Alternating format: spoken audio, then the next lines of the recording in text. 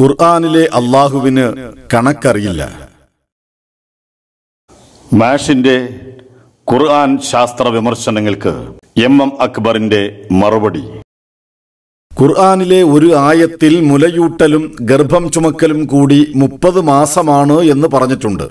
മറ്റൊരു ആയത്തിൽ മുലയൂട്ടുന്നത് രണ്ട് വർഷമാണെന്നും പറഞ്ഞിട്ടുണ്ട്. രണ്ട് ആയത്തുകളും കൂടി താരതമ്യം ചെയ്താൽ ഗർഭകാലം മുപ്പത് മൈനസ് ഇരുപത്തിനാല് അഥവാ ആറ് മാസമാണ് എന്നാണ് മനസ്സിലാവുക. മനുഷ്യരുടെ ഗർഭകാലം ഒൻപത് മാസമാണെന്ന് പോലും അറിയാത്തയാളാണ് ഖുർആൻ എഴുതിയ അള്ളാഹു ഒന്നുകിൽ അള്ളാഹുവിന് യാതൊരുവിധ ജനറൽ നോളജുമില്ല. അല്ലെങ്കിൽ അള്ളാഹുവിന് കണക്കറിയില്ല. മുപ്പത് മൈനസ് ഇരുപത്തിനാല് സമം ഒമ്പത് എന്നാണ് ഖുർആാനിലെ അള്ളാഹുവിന്റെ കണക്ക്. പരിശുദ്ധ ഖുർആാനിൽ രണ്ട് വർഷമാണ് മുലയൂട്ടേണ്ടത് എന്ന രൂപത്തിലുള്ള പരാമർശങ്ങൾ രണ്ട് തവണ കാണാൻ കഴിയും. ഖുറാനിലെ രണ്ടാമത്തെ അധ്യായം സൂറത്തുൽ ബക്രയിലെ ഇരുന്നൂറ്റി ഇരുപത്തി മൂന്നാമത്തെ വചനത്തിലും ഖുർആനിലെ മുപ്പത്തിയൊന്നാമത്തെ അധ്യായം സൂറത്തുൽ ലുഖ്മാനിലെ പതിനാലാമത്തെ വചനത്തിലും. എന്നാൽ പരിശുദ്ധ ഖുർആന നാൽപ്പത്തി ആറാമത്തെ അധ്യായം സൂറത്ത് അഹ്ഖാഫിലെ പതിനഞ്ചാമത്തെ വചനത്തിൽ മുലയൂട്ടുന്നതും ഗർഭകാലവും കൊടി മുപ്പത് മാസമാണെന്ന് പറഞ്ഞിട്ടുണ്ട്. ഇത് വൈരുദ്ധ്യല്ലേ കാരണം മുലയൂട്ടുന്നത് രണ്ട് വർഷമാണെങ്കിൽ ഗർഭകാലം ഒമ്പത് മാസമാണെങ്കിൽ തീർച്ചയായും മുപ്പതല്ലല്ലോ ഉണ്ടാവുക മുപ്പത്തിമൂന്ന് മാസം വരില്ലേ? എന്നാണ് ചോദ്യം. യഥാർത്ഥത്തിൽ പരിശുദ്ധ ഖുർആൻ ഈ രംഗത്ത് നടത്തുന്ന പരാമർശങ്ങളുടെ കൃത്യതയും ഈ രംഗത്ത് മുസ്ലിം സമൂഹത്തിന് നൽകുന്ന പല വിഷയങ്ങളിലുമുള്ള വെളിച്ചവുമാണിത് മനസ്സിലാവുന്നത്. ആ വെളിച്ചക്കത്തോട്ട് കൂട്ടി പറയട്ടെ ആദ്യം.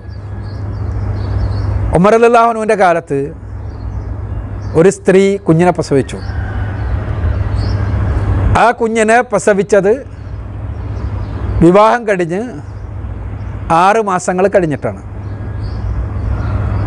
അപ്പോൾ കുഞ്ഞ് ജീവിച്ചിരുന്നു. അവൾ വ്യഭിചരിച്ചയാളാണ് എന്ന പേരിലുള്ള കേസ് ഉമർ അള്ളാഹുനുന്റെ അടുത്തെത്തി. കാരണം എല്ലാവർക്കും അറിയാവുന്നതുപോലെ ഒമ്പത് മാസം അല്ലെങ്കിൽ എട്ട് മാസം എല്ലാം ആകണമല്ലോ കുഞ്ഞ് ജീവിച്ചിരിക്കണമെങ്കിൽ. അപ്പോൾ ഇത് ഉമർ അള്ളാഹുനുഹുനെ ഇതിനെങ്ങനെയാണ് മറുപടി പറയേണ്ടത്? എങ്ങനെയാണ് ഇതിന് തീരുമാനമെടുക്കേണ്ടത്? എന്ന് അദ്ദേഹം സ്വഹാബിമാരുമായി കൂടിയാലോചിച്ചു.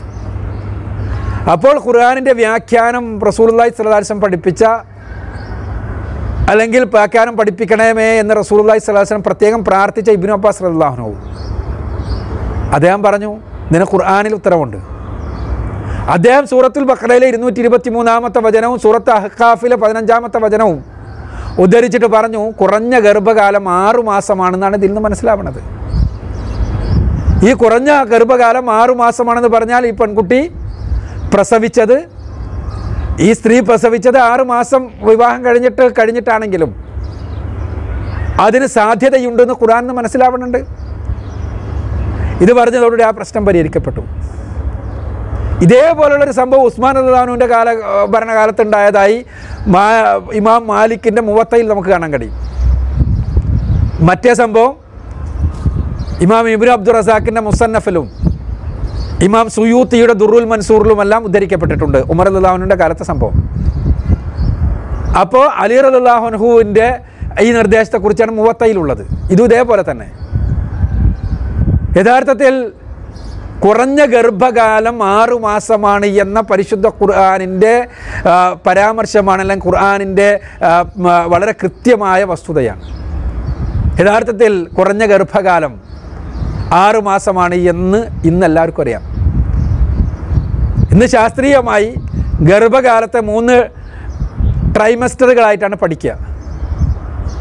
ഒന്നാമത്തെ ത്രൈമാസികം അത് ആദ്യത്തെ മൂന്ന് മാസം. ആദ്യത്തെ മൂന്ന് മാസം കുഞ്ഞിന്റെ അടിസ്ഥാന വളർച്ചയുടെ മാസം. രണ്ടാമത്തെ മൂന്ന് മാസം രണ്ടാമത്തെ ഘട്ടം വളർച്ച. ഈ രണ്ടാമത്തെ മൂന്ന് മാസം കഴിഞ്ഞാൽ ഏകദേശം എല്ലാ ആന്തരാവയവങ്ങളും ബാഹ്യാവയവങ്ങളും രൂപപ്പെട്ട് കഴിഞ്ഞിരിക്കും. പിന്നീട് ആ അവയവങ്ങളുടെ വളർച്ചയാണ് നടക്കുന്നത്. മൂന്നാമത്തെ ത്രൈമാസികത്തിൽ. അങ്ങനെയാണ് പൂർണ വളർച്ച എത്തിയിട്ട് ഒൻപത് മാസം കഴിയുമ്പോൾ കുഞ്ഞ് പുറത്തേക്ക് വരുന്നത്. എന്നാൽ രണ്ടാമത്തെ ത്രൈമാസികം കഴിഞ്ഞാൽ കുഞ്ഞ് പ്രസവിക്കപ്പെട്ടാൽ ആ കുഞ്ഞിന്റെ ഫീറ്റൽ വയബിലിറ്റി എന്നാണ് പറയുക. ആ കുഞ്ഞിന്റെ ഫീറ്റസിന്റെ ഗർഭസ്ഥ ശിശുവിന്റെ വയബിലിറ്റി അഥവാ ജീവിക്കാനുള്ള സാധ്യത നയന്റി പെർസെന്റാണ് അതിനു മുൻപ് ജീവിക്കാനുള്ള സാധ്യത തുലോം വിരളമാണ്. വളരെ റെയറായിട്ടുള്ള കേസിൽ ആധുനിക സംവിധാനങ്ങൾ ഉപയോഗിച്ച് അതിനു മുമ്പ് ജീവിപ്പിച്ചെടുത്തിട്ടുണ്ട്. അത് വേറെ വിഷയം വശമാണ്. പക്ഷെ അടിസ്ഥാനപരമായി ഫീറ്റൽ വയബിലിറ്റി നയന്റി പെർസെന്റ് ആകുന്നത് എപ്പോഴാണ്? മൂന്നാം രണ്ടാമത്തെ ട്രെമസ്റ്റർ കഴിയുമ്പോഴാണ്. അപ്പോൾ യഥാർത്ഥത്തിൽ ആറു മാസമാണ് ചുരുങ്ങിയ ഗർഭകാലം എന്നുള്ള വസ്തുത. ഖുർആൻ പറയുന്ന ഈ രണ്ടായത്തുകൾ വെച്ചുകൊണ്ട് പറയുന്ന വസ്തുതകൾ കൃത്യമാണ് കൃത്യമാണെന്നർത്ഥം. അപ്പോൾ ചിലപ്പോൾ വിമർശകന്മാർ ഉന്നയിക്കും. അതിനു മുൻപ് പ്രസവിക്കപ്പെട്ടിട്ട് ഇതേപോലെ യന്ത്രങ്ങൾ ഉപയോഗിച്ച് രക്ഷപ്പെട്ട കേസുണ്ടല്ലോ. അപ്പോൾ കേരളത്തിൽ പോലും കേസുകളുണ്ട്.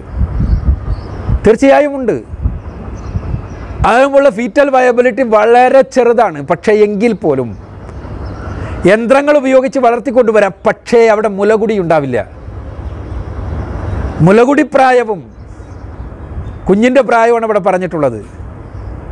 അങ്ങനെ ജനിക്ക അങ്ങനെ ഉണ്ടാക്കുന്ന കുട്ടിയാണെങ്കിൽ തീർച്ചയായും മുല കൊടുക്കാൻ കഴിയില്ല ആ കുഞ്ഞിന്. നമ്മൾ മറ്റു രൂപങ്ങളിൽ ആ കുഞ്ഞിനെ ഫീഡ് ചെയ്യേണ്ടി വരുന്നർത്ഥം ചുരുക്കത്തിൽ പരിശുദ്ധ ഖുർആൻ പറഞ്ഞത് വളരെ കൃത്യമാണ് ഒരബദ്ധവുമില്ല എന്ന വസ്തുതയാണ് ഇവിടെ നമുക്ക് മനസ്സിലാകുന്നത്. ചുരുങ്ങിയ ഗർഭകാലം ആറുമാസം തന്നെയാണ് ഖുർആൻ പറഞ്ഞതനുസരിച്ച്.